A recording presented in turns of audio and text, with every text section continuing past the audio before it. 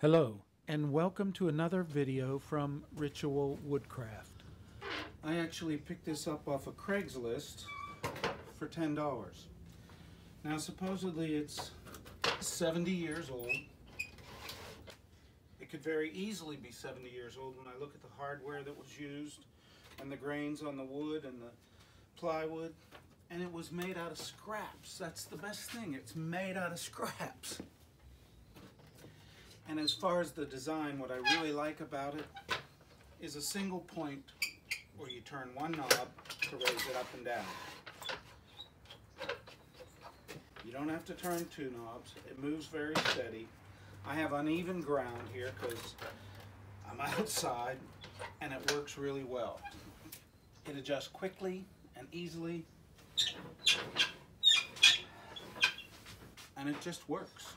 I can use it with my drill press or my radial arm saw. I only wish it went high enough that I could use it with the bandsaw, so that's a modification I will make. I drew up some plans so that I could get an idea of the wood that I would need. I made a list, planning to build this out of scraps, but you see, I build a lot of fine furniture, so my wood scraps generally consist of things like white oak, mahogany, maple, even walnut. So I'm going to look through my white oak and see if I have enough scrap to build this stand entirely out of white oak. And as it turns out, I do. I like it so much I want to use it for infeed and outfeed, so I just need more of them.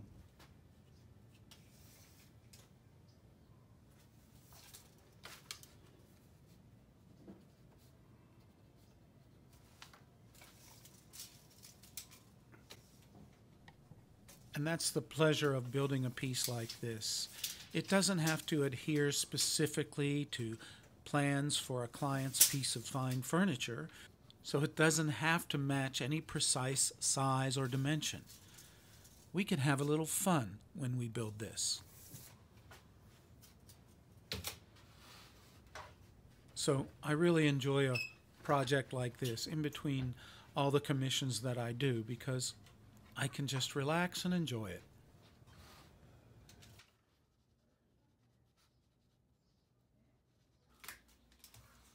Now my plan is to shape the feet differently from the original. I like this design a little better. It looks stronger. So let's begin to dimension this wood into the approximate sizes we will need. This way we'll be certain that we have enough and and I like to label everything with a piece of blue tape as I go along just to make sure I've accounted for each piece. Again, right now the sizes don't have to be super accurate. We're just getting in the neighborhood of the dimensions that we will need, and we will fit everything as we build it. My real priority now is to just make certain that each board is square and true. So as I do fit it and cut it during the build, I don't have to worry about things being out of square. And it always pays to sand your components as you go along, especially in areas where it'll be hard to reach into the corners and joints. I do like the relative dimensions of this original piece, but I am using hardwood as opposed to the various different species used in the original that was built from scraps, obviously. And as you can see, I've laid out the shape of the feet that I prefer for this reproduction. And I'm going to cut these out on the bandsaw. Now, if you don't have a bandsaw, of course you can use a jigsaw, a handsaw, uh, any way to get the job done. I like using the bandsaw. I have a really nice blade on it. It's a carbide tipped blade and it cuts through hardwoods with ease. I can actually do some very delicate work with this 3 quarter inch width blade. And after I have the first of the two feet complete, I can certainly use it as a template as I make the second one.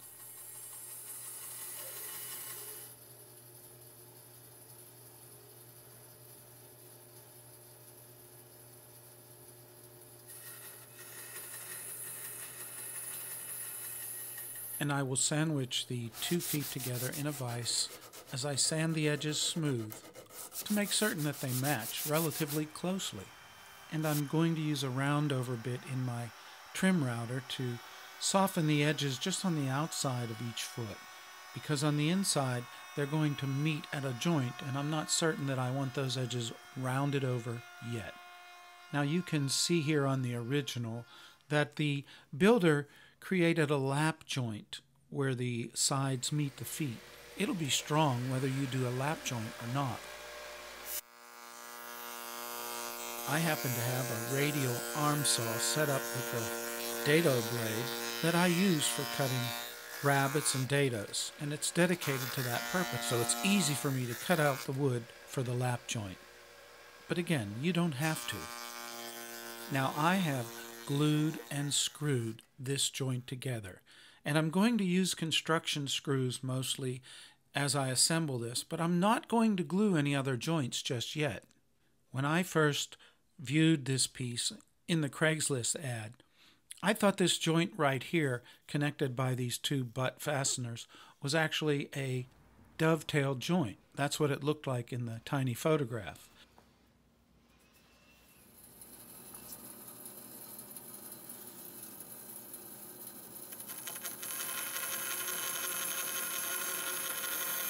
As I said, I'm able to do some rather delicate cuts on this bandsaw, so I'll use it for cutting my joints. But there's always more than one way to do it.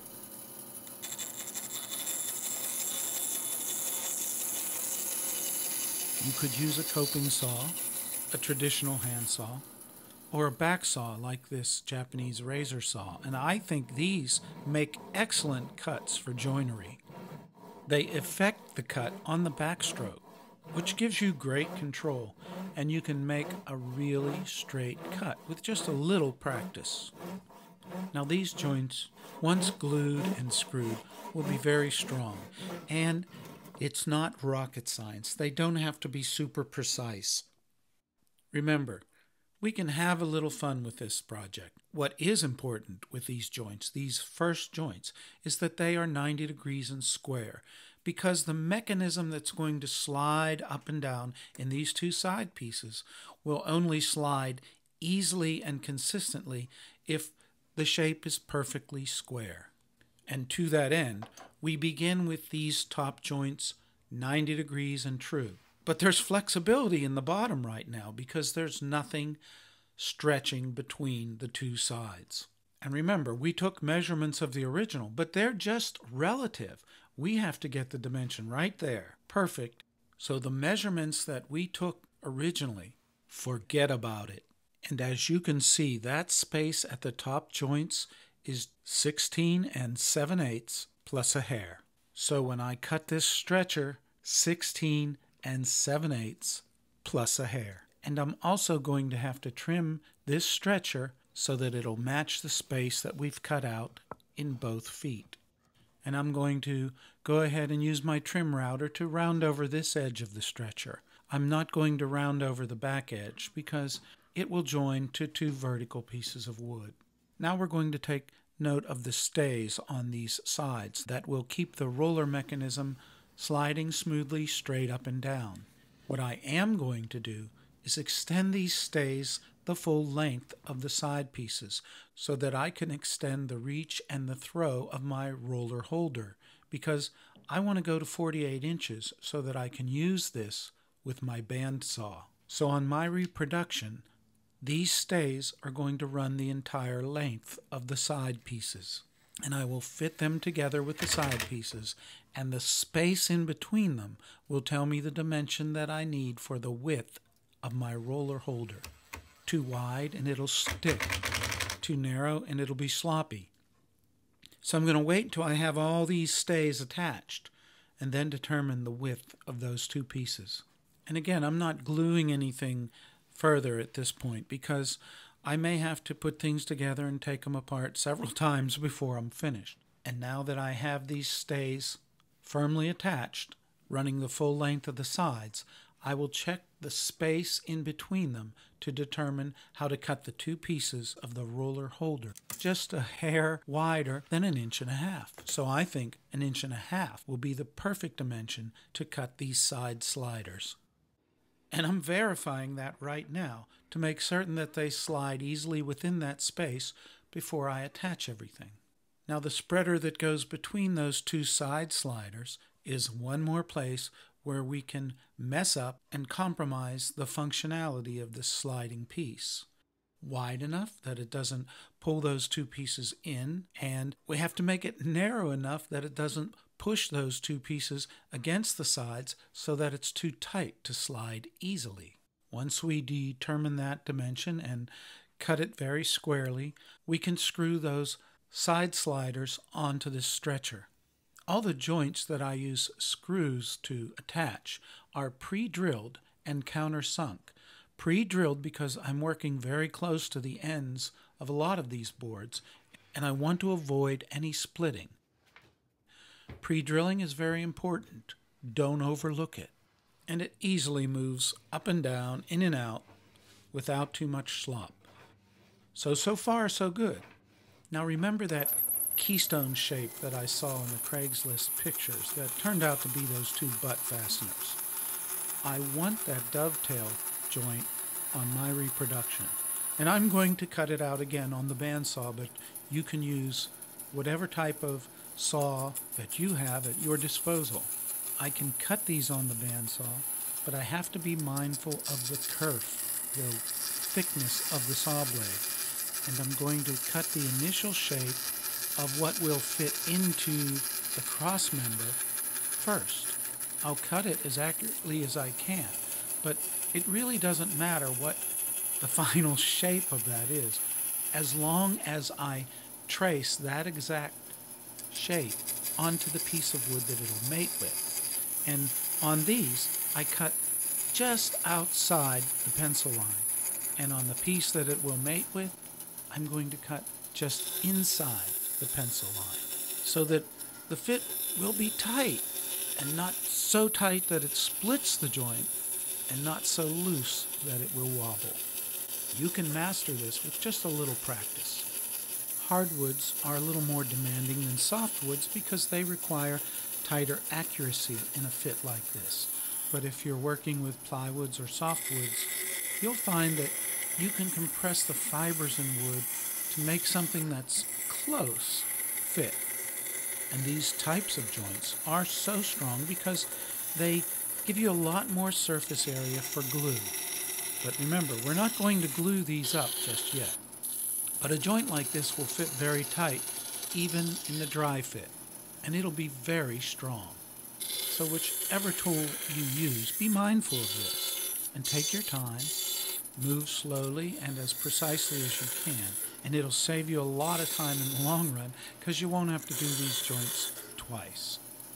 I nibble away at these shapes slowly and carefully Remember, I have a very large resaw blade in my bandsaw. It's three quarter inch width. It does have about a sixteenth of an inch kerf, which I will have to work with. And it's got beautiful carbide teeth that cut through this hardwood very easily and allow me to be rather precise even though I'm using a monster blade. You can see the width of the kerf right there in that corner. I'll have to work with that shape. Now the final result is as rough as the teeth on your blade, and you can see the saw marks right here on the edges. As far as I'm concerned, this helps the joint. It'll give a lot of places for glue to go, and it'll help those edges bite onto each other. The secret in a fit that looks good is to have the outside edges clean. The inside, you don't have to worry about so much.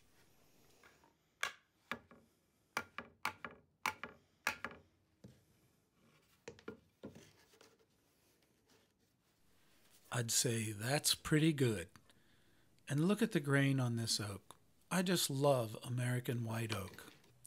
It's not perfect. There's a little chip out and there's those squared off edges right where the angles meet from the wide curve of the blade. But it's going to work good and it's going to be a solid joint. And as we screw this all together one more time, you see why we didn't glue everything up as we went along because I've taken this apart and put it back together a few times already. This allows us to make adjustments as we go along if we find that we need them. If not, that's okay too. And when we're all finished and everything's working as it should and looks as it should, then we can glue it all together. I actually like the industrial look that these screws give a piece. They're golden in color, they'll go beautifully with this American white oak. And this is the knob and bolt that I'm going to use to cinch the pieces of wood together. Look at the old knob on this original piece, and that's solid brass. I'm going to drill right there and use that as a point where I will start the slot. I'll probably use a router to cut that slot, but there's more than one way you can do it. And remember, I want to make my slot long enough so that the throw or reach of this sliding mechanism will give me a full 48 inch extension. So first I'm going to mark where that slot will begin by drilling a hole. I'm going to drill through this first piece of wood and then just slightly into the second piece, which is the stretcher holding the sliding sides. I don't want to drill entirely through that at this point. So I'm going to carefully drill through this stretcher in the sliding mechanism now, and you can see right behind it there is a two inch wide piece of wood that I've attached and glued to it. Now this is a Forstner bit that I'll use to make a cutout so that we can sink the head of this carriage bolt below the surface of the piece of wood where it will rest. Now we have the recess drilled and we have a round hole centered in that. We want the square part of the shaft just under the carriage bolt head to bite into that wood. So I'm going to square off that rounded hole just slightly to give it a way to start into the wood since I'm using oak and it's very hard. You can see I've just given it a place to go and I'll drive it in there to make sure that it is seated tightly. And you can always, if you make this a little too sloppy, you can always add some epoxy glue. But I can tell by the sound of that, this bolt is seated. So I'm over at the router table to cut the slot, and I'm going to use the hole that I drilled through this piece as a starting point. And I've marked both ends as far as how far I want that slot to go. And I'll carefully guide this piece of wood along that router bit to cut my slot. You could actually cut a pretty effective slot like this on the table saw, placing your piece of wood against the fence and cranking up the blade to cut through it. Now I've replaced these two vertical pieces back into the roller stand where they go. I'm using two inch and a quarter screws that will enter in that vertical piece from the inside and seat in the cross members between the feet. We haven't glued this up yet, so we're able to remove pieces as needed, and I have one whole side off as far as that center vertical piece and the cross member between the feet is concerned, and I can add this sliding mechanism now, reseat the bolt, and then put it all together.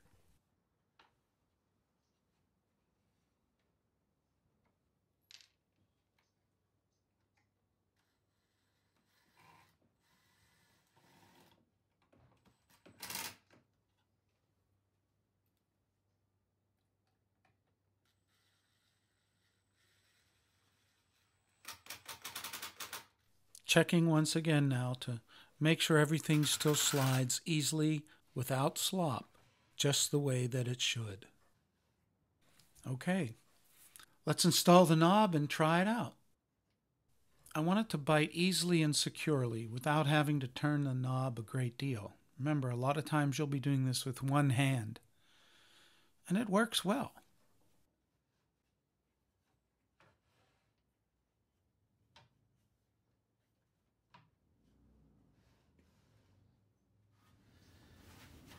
Now, as far as the roller, there's a lot of things you could use. I suppose you could use an old rolling pin, uh, especially if it had ball bearings. That would be really nice. This tends to squeak a lot, it's just steel rod. I guess it's drilled and glued into a hardwood roll. This is probably some kind of maple. I've actually grown accustomed to the squeaking and I kind of like it. I'll probably do something a little different. I think I'm going to use maple. So I've glued two pieces of hard maple together and I have a two inch square. I've cut it to fit my space and I'm going to take it to the lathe and, and round it off. If you don't have a lathe, you still have options. You could use handrail, you could use uh, a dowel of, uh, I guess the largest size you could find, anything close to two inch, but I believe you'd be okay anything over an inch. Or you could cut and trim it on the table saw, one corner at a time, a little bit more, a little bit more until it was round, and then use some sandpaper. Remember, this is never going to be high speed action, so things don't have to be perfect. But we'll go to the lathe and see what we could do with this hard maple. Now, as far as this lathe is concerned, working with a wood lathe is very new to me. This is something I just picked up recently. Uh, a man had it in his garage. It was his brother's. His brother bought it years ago, used it a couple times, really didn't like it much, and it's just been sitting in this garage. It's an old tool that is relatively new as far as use goes, and I was able to pick it up for $50. Just like any other tool that uses chisels on wood, it's all about the quality and integrity of your chisel and the edge that you give that chisel. So you'll probably spend or invest a lot more into the tools that you'll use with this lathe than you might on the lathe. This is a very basic lathe. It is adjustable as far as its speed, its RPMs, but to adjust it, you have to open it up and change the belt from one pulley to another. It doesn't have a a dial where you can electronically adjust the speed of the motor. And it's not as convenient as some of the newer lathes that have a lot of adjustment knobs. Uh, if you want to move things around here, you need a wrench.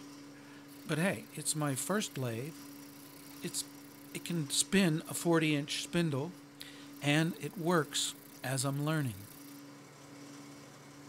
I'm finding and as I work with this lathe, I'm finding that it's, again, all about the integrity and sharpness of your chisels. And it's also about finesse, not strength. You ease the cutting edge into the wood and you find the angle that doesn't only make a bunch of fine particles and sawdust. You want to see chips and preferably nice, smooth, thin shavings coming off the wood that you're turning. Shavings like you might see from a plane. Again, a plane is a fine chisel edge held in a tool at a particular angle to give you those fine shavings. And as you're working with the lathe and the chisel, you find that angle with your hands and you finesse it into the wood. Now, cutting a very symmetrical roller may be more difficult than other shapes you can think of because it has to be level and smooth across the entire width. Now this is just a roller stand to feed wood and it's not going to be a high speed roller so little imperfections won't show. You may not like sanding but at least for the first few times when you use a lathe to sand a spindle you're going to enjoy it. It's effortless and painless and depending on the grit of the sandpaper that you use that abrasive can be a very effective carving tool and you can remove a lot of wood quickly. And at the end, I'll use a flat surfaced sanding pad to help me get a straight edge across the width of this roller.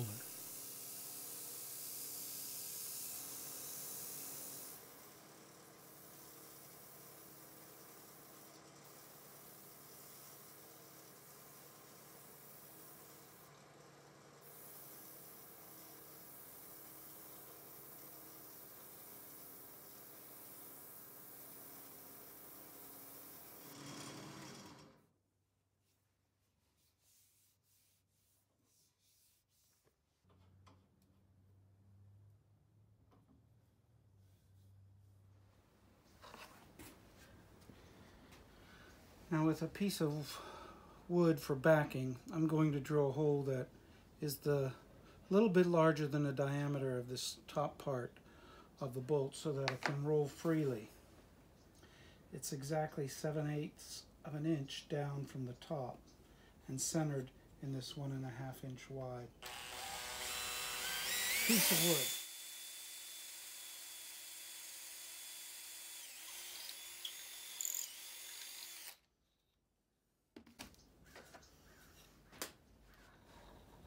Bolt will turn freely in there. I am going to pre-drill each end of this roller with a bit that is the dimension or the width, uh, the diameter of that bolt minus the threads so that I'll be able to screw it in from either side. The threads will bite into the roller and hold it, but I won't worry about splitting the roller. Okay. Theoretically, this should screw right in.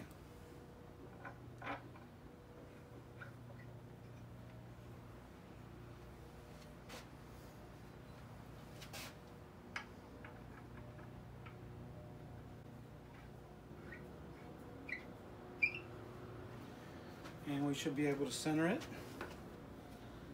and let it roll.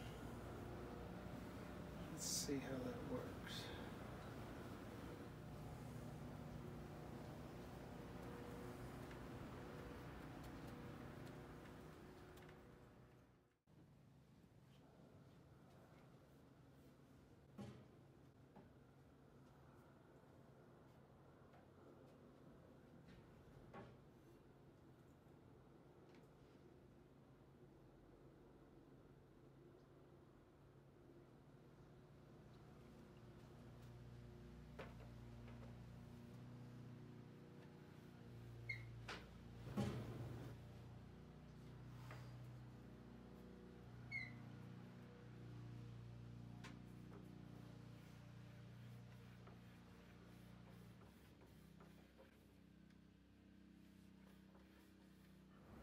I'm to like that. As far as a finish for this piece, I've used a little Danish oil. I've given it one coat, and I'll probably maintain that finish periodically by wiping down with other oils, probably just linseed oil uh, mixed with a little mineral spirits, just to keep it protected. But I don't want this wood to darken to any extent that it loses the beauty and luminescence it has right now. Just look at this American white oak. I think it is such a beautiful species to work with. I'm really happy that I had enough of it to build this piece. I think it's absolutely beautiful, and it's just a tool for around the shop. But I'll take pleasure in using it every time, and I'll remember how enjoyable it was to make this build. And while I modeled this off the original, I also modified it for the dimensions that suited me. And that's the beauty of this type of construction. You can do what you want. This is a general guide. I find it very useful. I'm tired of the rolling stands that you get from the big box store. They're made out of metal. You think these are great. You get them home, you use them for a little while, and the plastic handle that tightens it down breaks. There's always that one plastic piece that is the weak link that is part of the designed obsolescence of everything you seem to buy today. That original piece is 70 years old, made from scraps. Who knows how long this one made out of American white oak will last. I know it will outlast me. What's not to like? I hope that you've enjoyed this video and the build. If you like what you've seen, please subscribe and consider ringing the bell. That way you'll be updated when I post new videos.